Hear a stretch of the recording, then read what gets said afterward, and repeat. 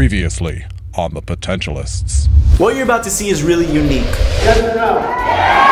Not only one, sometimes two and three days at a time. It's this roller coaster of emotion and learning, and That's just our teaching style. See that room? There's no one that does it like we do it.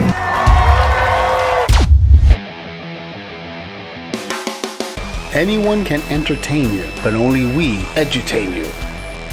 With a mixture of fun, learning, and craziness, my team and I travel the world motivating and connecting with people. Get ready to make it happen. so my friend TJ is getting married this year, This is TJ.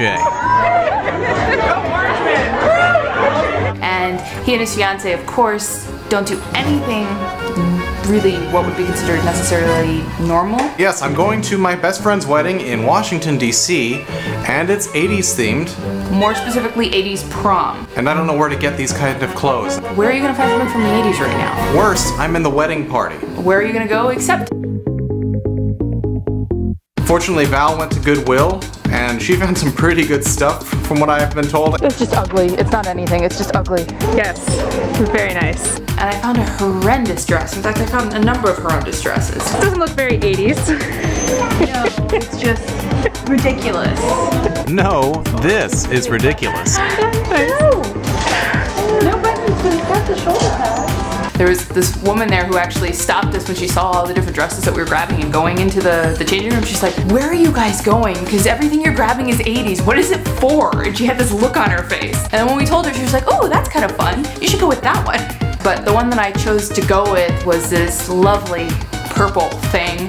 Yeah, I think I have to leave like a rib. yeah, I ran into that problem.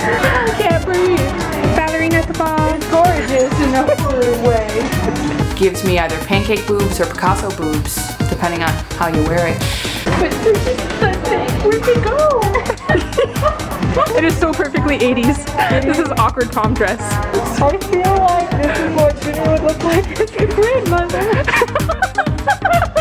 yes, it is the grandmother's dress.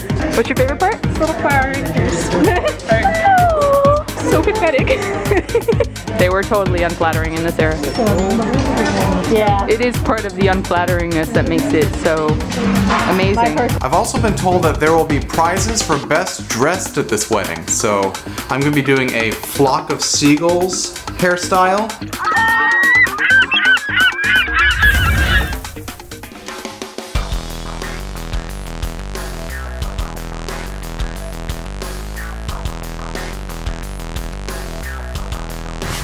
Hey yo, how you doing? Check this out. It's Serge from BOWA World. You better like us.